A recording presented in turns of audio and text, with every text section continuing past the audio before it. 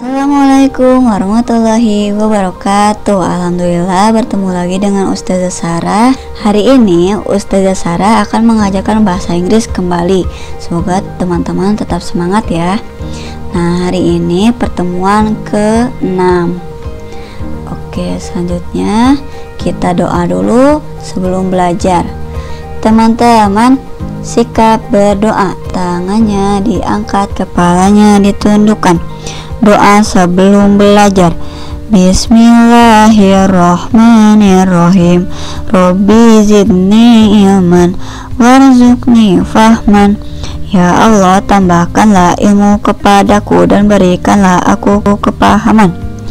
Amin.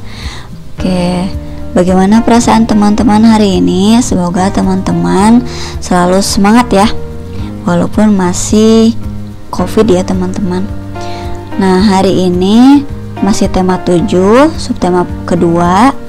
Nah, tema tujuhnya tentang peristiwa dalam kehidupan, subtemanya peristiwa kebangsaan seputar proklamasi. Nah, sebelumnya kita nyanyikan lagu tema tujuhnya tentang tanah airku. Nah, insya Allah teman-teman sudah tahu ya lagunya. Oke, kita hitung 1 sampai 3. 1 2 3. Tanah air Ku tidak kulupakan Kan terkenang selama hidupku. Biarpun saya pergi jauh Tidak akan hilang dari kalbu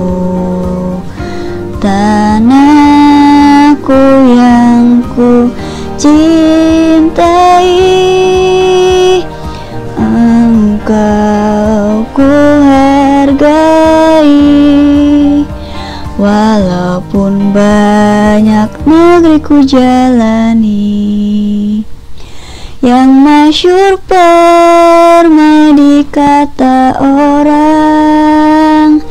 Tetapi kampung dan rumahku di sanalah ku rasa senang. Tanahku tak ku lupakan Engkau ku banggakan. Oke sekian untuk lagunya. Kita lanjut ke TFP materinya tentang uh, Indonesia ya, kemerdekaan Indonesia. Nah, di sini kalau Indonesia merdeka, maka bendera Indonesia akan dikibarkan. Nah, dikibarkannya pada bulan Agustus tanggal 17 jam 10 pagi untuk teks proklamasinya ya dan pengibaran benderanya. Nah, jadi Soekarno itu diculik oleh para pemuda Kerengas Dengklok dan didesak untuk membuat teks proklamasi agar Indonesia merdeka dari tangan penjajah. Nah, di sini pengibaran bendera Indonesia merah putih bahasa Inggrisnya adalah Raising of the Indonesian Flag. Nah, flag itu bendera bendera Nah, Indonesia itu bendera Indonesia. Jadi, kalau misalnya bendera merah putih itu red and white flag ya, tapi uh, lebih nyaman itu the Indonesian flag. Racing berarti mengibarkan. Nah, lalu reading text proclaim atau pembacaan teks proklamasi oleh Insinyur Soekarno. Nah, lalu ini adalah isi teks proklamasi. Nah, bahasa Inggrisnya content text proclaim. Nah, proclaim itu proklamasi, teks itu teks, konten yaitu isi. Jadi isi teks proklamasi. Oke, langsung ke materinya tentang vocabulary words that describe actions. Lalu di sini ada kosakata tentang actions atau aksi atau yang dilakukan. Kosakatanya. Nah, di sini ada jump artinya lompat. Nah, contoh kalimatnya The little boy gabbled his prayers and jumped into bed. Nah, artinya yaitu laki-laki anak kecil laki-laki ini setelah ia berdoa langsung lompat ke kasur ya. Ya, ini hanya kalimat ya, teman-teman. Lalu eat artinya makan. Nah, kalimatnya yaitu my little brother is eating some hot dogs. Nah, adik kecil, adik laki-laki kecilku memakan beberapa hot dog atau roti isi sosis. Nah, lalu drink atau artinya minum. Kalimatnya a man cannot whistle and drink at the same time. Nah, jadi seorang manusia itu tidak bisa bersiul dan minum di waktu yang sama. Karena kalau misalnya minum sambil bersiul, apa yang terjadi? Tersedak ya, teman-teman. Nah, lalu selanjutnya cook atau memasak. I'll have to cook them a meal or they'll thinking I'm inhospitable. Arti untuk kalimat keempat yaitu saya harus memasakkan mereka uh, hidangan atau mereka akan berpikir atau mengira saya tidak ramah. Nah, seperti itu. Lalu wash. Wash artinya mencuci. Nah, di sini kalimatnya contoh kalimatnya You should always wash your hands before meals. Nah, kamu harus selalu mencuci tangan sebelum kamu makan. Nah, lalu wait, menunggu. My family has waiting for a return flight at the airport. Nah, keluargaku harus menunggu penerbangan selanjutnya di bandara. Oke. Lalu di sini kalimat ketujuh uh, kosakatanya climb artinya memanjat. Nah, bahasa Inggrisnya My friends rock climbing with ease. Temanku meman sedang memanjat tebing dengan mahir, dengan mudahnya ya. Lalu talk. Talk artinya berbincang. Nah, kalimatnya my dad's my dad's friends are talking in the living room. Teman-teman ayahku sedang berbincang atau mengobrol di ruang tamu. Nah, lalu crawl, crawl, merangkak. A child learns to crawl before he learns to walk. Nah, anak kecil akan belajar merangkak terlebih dahulu sebelum dia belajar untuk berjalan. Oke, selanjutnya dream, mimpi. I'm dreaming to become a professor. Aku bermimpi atau misalnya bercita-cita untuk menjadi seorang profesor. Nah, lalu dig. Dig artinya menggali. Nah, kalimatnya I'm going to dig down this wall. Nah, artinya aku akan memulai menggali tembok ini. Nah, menggali ke bawah ya. Nah, lalu knit. Jadi kaknya tidak dibaca ya. Jadi knit artinya merajut. My grandmother is knitting clothes for me. Jadi nenekku sedang merajut pakaian untukku. Selanjutnya sew. Nah, artinya menjahit. Nah, kalimatnya my grandmother told me to sew. Nah, jadi nenekku mengajarkanku untuk menjahit. Lalu smell. Smell itu membau atau mencium sesuatu.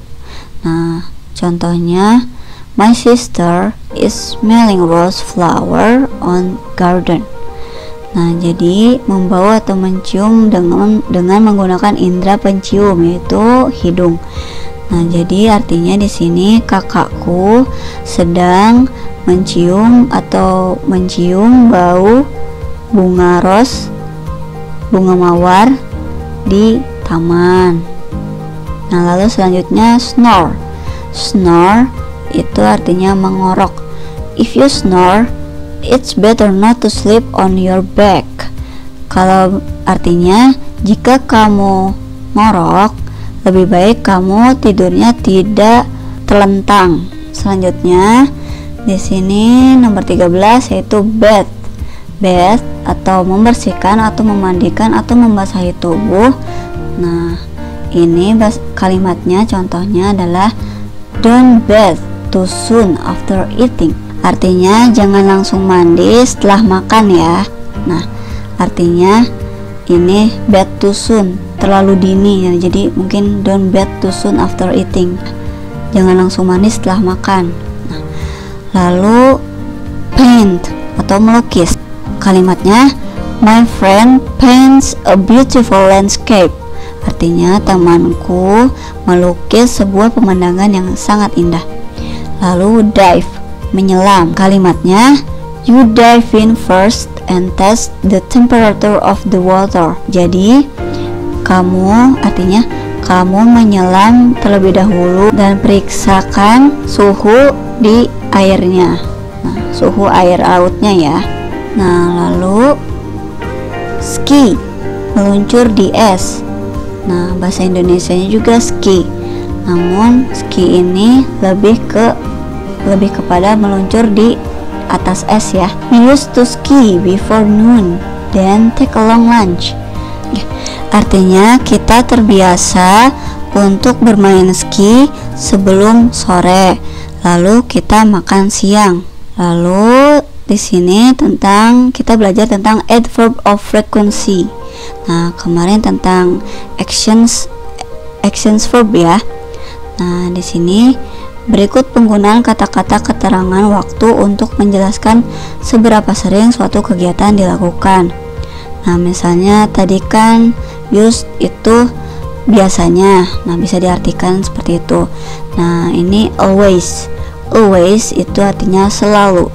Usually biasanya. Often sering. Sometimes kadang-kadang. Never tidak pernah nah jadi adverb of frequency biasanya ditaruh di tengah-tengah atau di akhir tergantung dengan kalimatnya kata keterangan. Nah, frekuensi itu frekuensinya seberapa sering atau seberapa jarang uh, kita melakukan kegiatan, suatu kegiatan. Nah, contoh dalam kalimatnya, I always wake up at 5 o'clock every day. Aku selalu bangun jam 5 tepat setiap hari. Lalu kedua, I usually eat sandwich for breakfast. Aku biasanya memakan roti lapis untuk sarapan. Lalu, I often play football with my friends after school. I often play football with my friends after school. Nah, artinya aku sering bermain bola dengan teman-temanku setelah pulang sekolah. Nah, lalu keempat, I sometimes go jogging on the weekends. Artinya aku terkadang pergi untuk jogging atau lari-lari kecil ya uh, di weekend atau di satu minggu di hari libur ya. Lalu terakhir kalimatnya I never go hiking or camping. Aku tidak pernah pergi atau melakukan uh, mendak pendakian atau perkemahan atau kemah ya. Nah, selanjutnya tingkatan penggunaan adverb of frequency. Nah, lalu di sini ada always. Always di sini tingkatannya itu 100%, berarti selalu. Berarti uh, tidak satu hari pun dia tidak melakukannya, berarti selalu ya. Contohnya sholat ya. Nah, lalu usually. Usually itu artinya biasanya. Biasanya dilakukan. Tapi terkadang misal dia lupa. Nah biasanya dilakukan itu ternyata dia lupa nah misalnya. Lalu often often itu artinya sering. Nah sering itu uh, bisa misalnya dua minggu sekali atau dua hari sekali dia bermain bola bola sepak bola basket nah, contohnya Lalu sometimes, sometimes itu terkadang, terkadang dia melakukan, terkadang tidak. Misalnya terkadang dia nonton YouTube, terkadang tidak. Nah, misalnya seperti itu lalu never never itu tidak pernah sama sekali melakukan uh, hal-hal hal-hal atau aktivitas yang tidak pernah dia lakukan misalnya misalnya membuat meja dia tidak pernah membuat meja misalnya nah lalu proyek atau project nah di sini teman-teman isi titik-titik yang ada di sini sesuai dengan jadwal yang telah disediakan di atas. Nah, ini maksudnya ini ya. Jadi, teman-teman lihat ada tabel di sini yang sudah disediakan. Nah, ini itu berisi jadwal. Nah, dengan menggunakan adverb of frequency diisi titik-titiknya menggunakan adverb of frequency yang tepat. Contohnya tadi always, usually, usually, often, sometimes or never based on the data in the table. Nah, di sini go swimming. Nah, dia pergi untuk berenang di hari Senin, Rabu, Jumat. Nah, Senin, Rabu, Jumat. Nah, mana yang tepat? Apakah always selalu, usually kah, uh, biasanya? Nah, usually biasanya, often sering, sometimes terkadang, never tidak pernah. Nah, kalau misalnya ada tanda checklist di sini, nah berarti dia pernah melakukan. Nah, tapi mana yang tepat? Always, usually, often, uh, or sometimes. Nah, lalu watch TV. Nah, watch TV on the weekend, Saturday and Sunday ya. Nah, jadi teman-teman boleh isi apa? Misalnya dua hari, dua hari, eh, dua kali seminggu. Mana yang tepat? Lalu read books. Nah, read books. Nah, ini sudah ketahuan setiap hari. Berarti mana yang dipakai? Nah, yang dipakai adalah tadi ya antara always usually mana yang tepat. Lalu ride a bike. Nah, yang di checklist di sini ada Monday, Wednesday, Thursday, Friday, Saturday, and Sunday. Nah, mana yang tepat? Nah, dan selanjutnya dan selanjutnya. Lalu teman-teman isi di sini. Nah, teman-teman kalau misalnya tidak punya printer, teman-teman boleh isi di buku tulisnya hanya pertanyaan dan isinya saja. Ya, teman-teman seperti itu ya. Nah, agar memudahkan teman-teman, jadi kalau misalnya ada tabelnya lalu ditulis kembali itu sepertinya teman-teman harus uh, menggunakan waktu sebaik mungkin karena teman-teman memiliki proyek yang lain ya selain bahasa Inggris oke itu saja pastikan uh, tepat waktu dan sesuai dengan perintahnya ya teman-teman. Nah lalu pastikan teman teman-teman tetap semangat untuk belajar dan mengajarkan tugas teman-teman. Pastikan tuntas ya teman-teman. Dan tepat waktu. Cukup sekian dari Ustazah Sarah. Kita akhiri dengan membaca hamdalah bersama-sama. Sikap berdoa tangannya diangkat kepalanya ditundukkan membaca hamdalah bersama-sama Alhamdulillahirobbilalamin segala puji bagi Allah Tuhan semesta alam Wassalamualaikum warahmatullahi wabarakatuh. Maaf apabila ada kesalahan ya, teman-teman.